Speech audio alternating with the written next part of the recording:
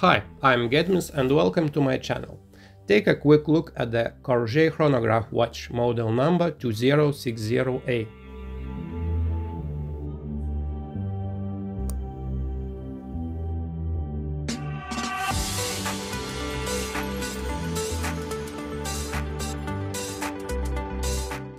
I had pretty high expectations for this watch.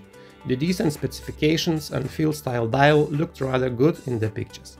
The price of 50 US dollars seems to be fair. The quartz chronograph watch with day-date functions, the movement inside is a Miyota 0S00. It's a mid-sized watch. It is 41 mm in diameter, yet the lug-to-lug distance is 50.5 mm, so it could be too large for a smaller wrist. The lug width is 20 mm. The thickness of the case is 11 mm, not including the domed crystal, and uh, 13 mm if included. Full stainless steel case, don't mineral crystal, leather band.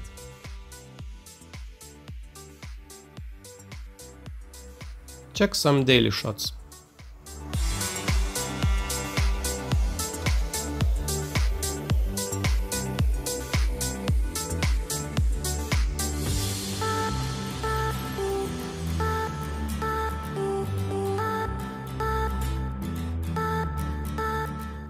The dark green color filled dial with massive sword-shaped hands looks rather interesting. The dial is extremely busy, not a big surprise for a chronograph watch. There are three subdials, the small second subdial at 6 o'clock, chronograph minute counter at 12 o'clock, and the chronograph hour counter subdial at 9 o'clock positions.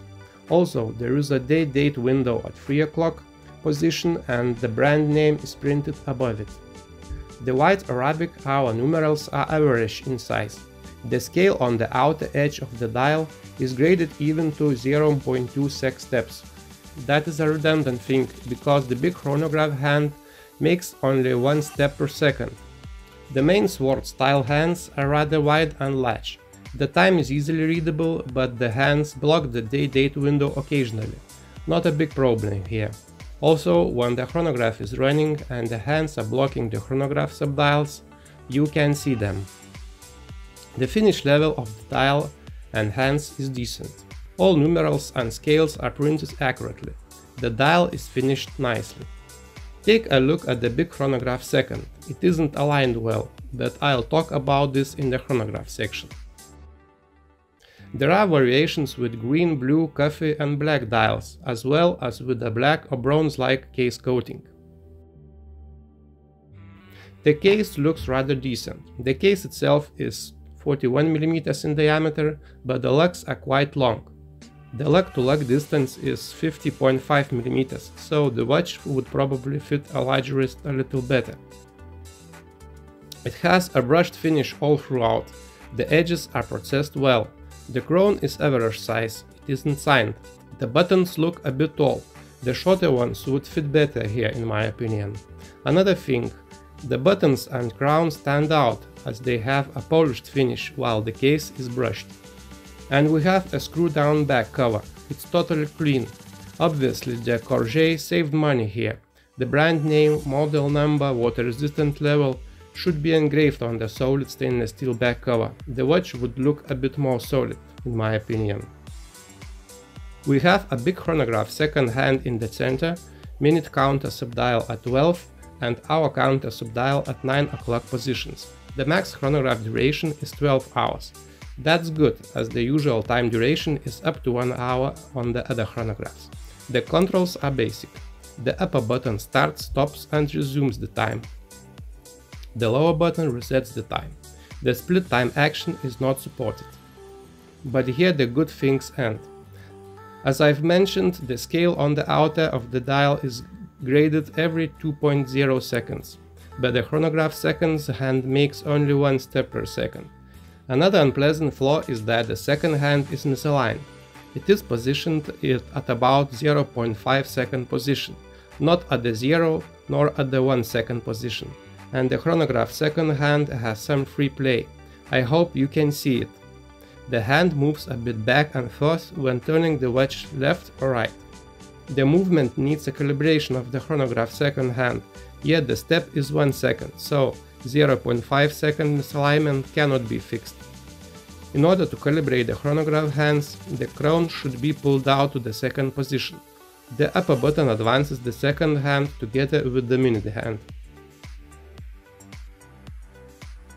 Even more, the chronograph minute hand is also misaligned. I calibrated it to 0 position, but after reset it returns to 59 minute position instead of 0. So the hands of the chronograph are not aligned correctly and the second hand has some back and forth play. Even much cheaper chronographs like from the brand Scree don't have issues like this. Maybe I had bad luck this time, but the quality control shouldn't pass a unit like this. Let's take a closer look at the movement itself. Check more specs in the list. The timekeeping accuracy is rather good, being plus 5 seconds per month. Can't say much about the reliability of this movement. Pull out the crown to the first position to adjust the weekday and date, and pull out the crown to the second position to change the time.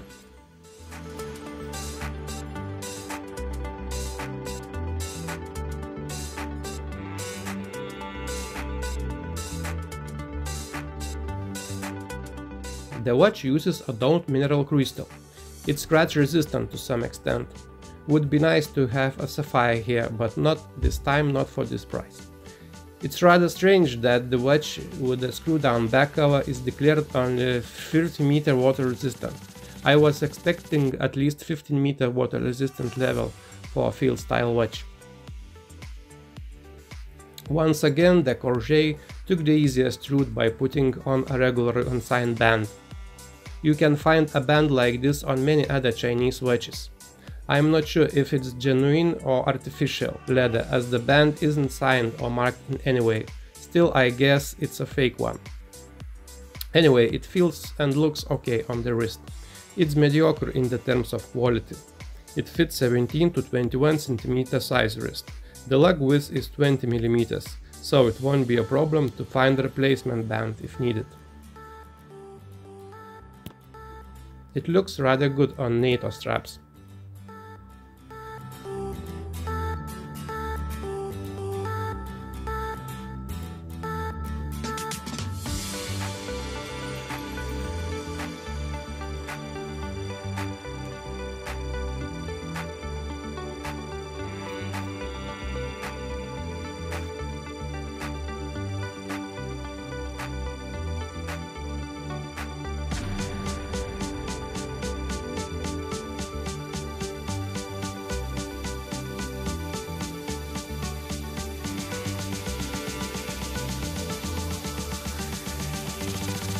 The main and subdial hands are luminous, but the hour numbers aren't. Well, the luminous small hands make it more difficult to read the main hands. The luminous hour marks would make much more sense here. It lasts about 10 minutes. My expectations were pretty high for this watch, yet there are too many smaller or bigger issues and flaws. Let's begin from the pros. Interesting and good looking field style watch, green dial, massive sword chip hands, easily readable time, well-finished stainless steel case, decent materials and a movement for the price. It uses a Miyota 0S00 quartz movement. It isn't a bad one, but in my opinion it would be more appropriate to use Seiko VK63 instead, as the price of both are very close. The biggest flaw is that the big chronograph second and minute hands aren't aligned properly. Even worse, the second hand has back and first play.